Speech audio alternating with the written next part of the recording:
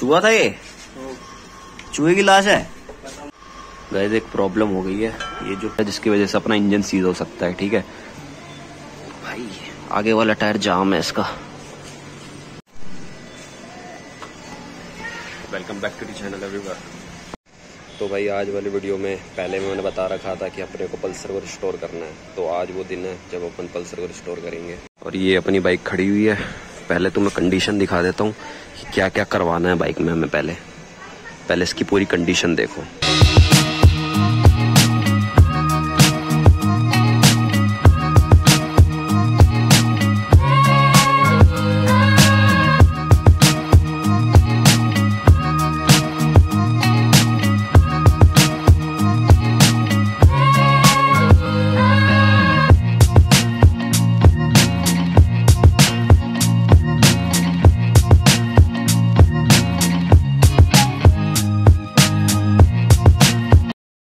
भाई ये कंडीशन देख ली अपने बाइक की। अब इसके बारे में मैं आपको एक्सप्लेन करता हूँ कि हमें करना क्या क्या है बाइक के अंदर। वैसे तो पूरा ही काम करना है, लेकिन एक एक करके एक्सप्लेन करता हूँ आपको।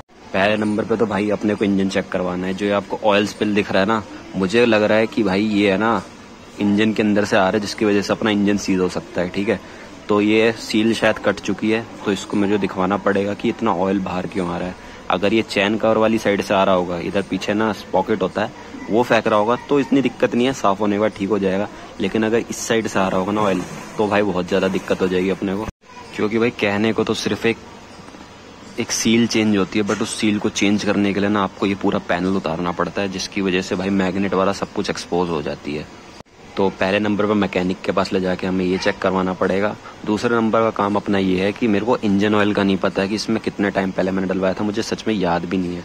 तो भाई पहले अपन जाएँगे, इसका इंजन ऑयल भी चेंज करवाएँगे, इसका फ़िल्टर भी साफ़ करा लेंगे, या तो मैं खुद करूँगा, ठीक है?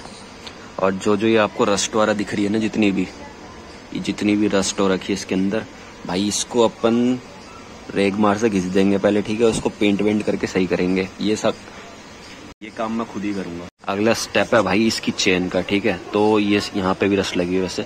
तो इस चेन कवर को खोलेंगे, ये भी बहुत रस्ट खा चुका है, ठीक है? इसको भी ठीक करेंगे और इसकी चेन को लूप करेंगे पूरा। ये काम भी मैं खुद ही करूँगा, ठीक है? और सबसे मेन बात, इसकी जो बॉडी लाइन है ना पूरी, वो मैं खुद ही ठीक करूँगा, क्योंकि जो स्क्रैचेस हैं, वो मैं ठीक करूँगा। और जितने भी ये मेरा टूट गया था, मेरे पास रखा हुआ है ऊपर को मिरर इसका दोबारा लगाएँगे ठीक करके। इस साइड आ जाते हैं तो इस साइड का काम है भाई, ये देखो। ये जो इसका स्विंगाम है ना, ये बीच में से क्रैक कर चुका है, ठीक है? और ये रस्ट की वजह से क्रैक हुआ है। अब देखो, जिनको नॉलेज नहीं है ना बाइक्स की, उनको लगेगा कि ये तो टूट चुका है बट ऐसा नहीं है। ये ऊपर वाली पत्ती है ना, जो हल्की होती है स्विंगम की, जो नीचे वाली बेस होती है ना, वो ज़्यादा इंपॉर्टेंट होती है। तो वो चीज़ इसके अंदर जुड़ी हुई है, ठीक है? तो मैं क्या करने वाला हूँ? इसके अंदर ना मैं वेल्डिंग कराऊँगा। अब वेल्डिंग शायद ये खोल के ही होगा टायर को। तो मैं इसके अंदर वेल्डिंग कराऊँगा, जिस और एक पैच कर देंगे यहाँ पे। कई लोगों को लग रहा होगा, भाई, ये जुगाड़ वाला काम है। तो एक्चुअली जुगाड़ नहीं है बट मैं रिकमेंड भी नहीं कर सकता क्योंकि यार मैं आपकी बाइक के साथ रिस्क कैसे ले सकता हूँ? मैं बस इतना बता सकता हूँ कि अगर हाँ आपका ऊपर वाला पैनल अगर रस्ट खा के गिर चुका है तो आप उसको कैसे ठीक करा सकते हो, वो मैं आपको ज़रूर बता दूँगा। देख लिया आपने मेन वाली नीचे है ना, वो बिल्कुल ठीक है पेंट करने के बाद सही हो जाएगी रस्ट हटाने के बाद। ऊपर वाली हम ठीक कर देंगे बेल्डिंग से। बाकी एक इशू मेरे को आ रहा है कि इसका अगला या पिछला व्हील ना जाम हो रखा है, ठीक है? तो मुझे वो लूज करवाना पड़ेगा क्योंकि आवाज़ आ रही है और ये बाइक बहुत ज़्यादा टाइट चल रही है। तो वो एक चीज़ है, वो दिखाना पड़ेगा। ये वाला तो फ्री है टायर आगे वाला देखता हूँ।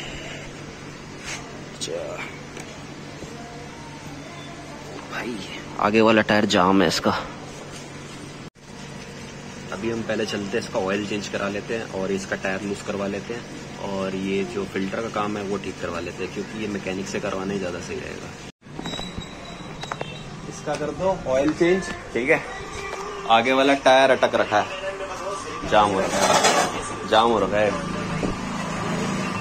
वो देख लो एक बारी। और ऑयल चेंज कर दो इसका।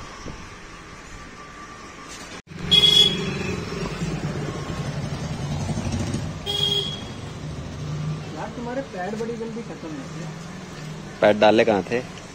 डाले नहीं पैड तुमने तो कहा था एक सर्विस और चल जाएँगे। ये तो बहुत ज़्यादा ही टाइट चल रहा है। मतलब ऐसा होता था कि गाड़ी अगर क्लच दबा लेता था ना अपने आप ही रुक जाती थी थोड़े आगे जाके।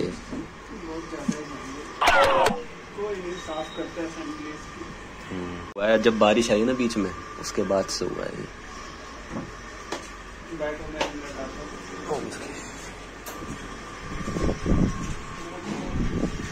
गाइस प्रॉब्लम बता दी भैया को, और उन्होंने कहा कि असेंबली साफ़ करनी पड़ेगी आगे वाली ब्रेक की तो क्योंकि बहुत ज़्यादा टाइट हो रखी है। पीछे वाली चेक कर ली है, वो तो लूज है, ठीक है? आगे वाली हमें करनी पड़ेगी और ऑयल चेंज करवा लेते हैं। और इसका जो ऑयल का बता रहे हैं ना, जो मैंने आपको इंजन पे उसके ऊपर, इंजन के ऊपर दिखाया था तो वो प्रॉकेट के ऊपर से आ रहा है, इसके ऊपर से नहीं आ रहा, उसके लिए खर्चा बच गया भाई हमारा। तो वो चीज़ वहाँ से आ रही है तो उसके लिए कोई चिंता करने की ज़रूरत है नहीं। बाकी इसका ऑयल चेंज कराने बाकी इसका ऑयल चेंज करा देता हूँ। कैस्ट्रॉल का बोला है मैंने भैया को कैस्ट्रॉल का डालेंगे। तो जिन पे भी 150 सीसी का बाइक है ये थोड़ा ऊपर सीसी का बाइक है ना भाई तो कैस्ट्रोल का डाला करो। एक पावर आता है एक नॉर्मल आता है ठीक है? तो पावर वाला हाई सीसी वाली में डाला करो। और लो डेढ़ सौ तक में भाई कम वाला भी डलवा लोगे ना कैस्ट्रोल का ही थोड़ा कम पावर वाला भी डलवा दोगे तो सही चलेगा। क्या हाल है?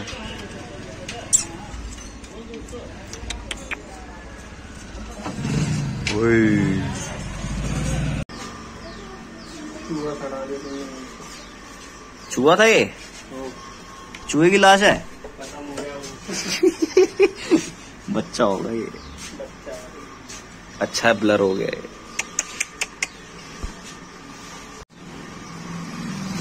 काटा तो नहीं ना इसने कुछ? नहीं काटने से पहले ही चल रही बुरा हुआ भाई आत्मा को शांति मिले उसकी। ये पीला पीला क्या हो रखा है?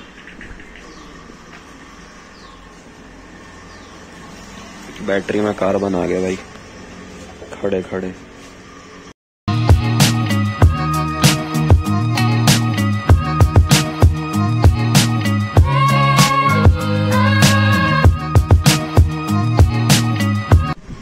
गाइस एक गुड न्यूज़ है।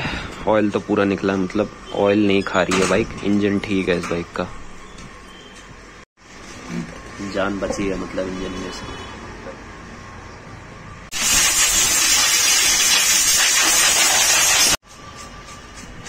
होती है कि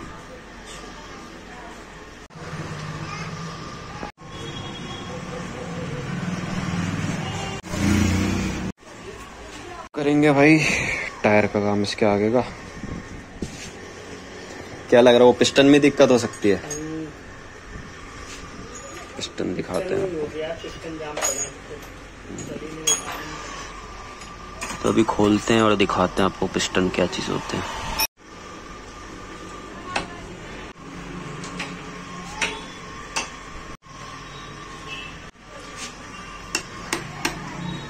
ओ भाई। भाई देखो, ये होते है पैड, जो मरने वाली से भी बुरी हालत में। आधे तीन ही हो गए। कितने, डेढ़ सौ के नहीं?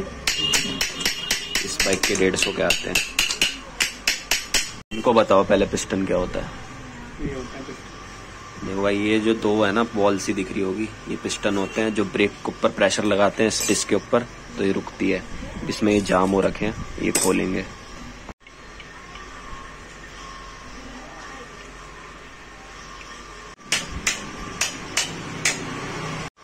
गैस एक प्रॉब्लम हो गई है।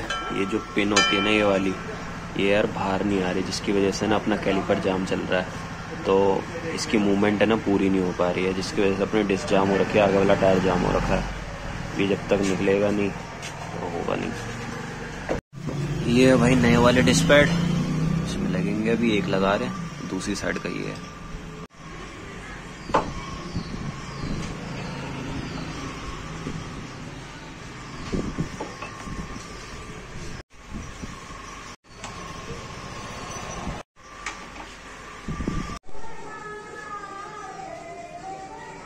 हाथ देख रहे हो मेहनत वाले?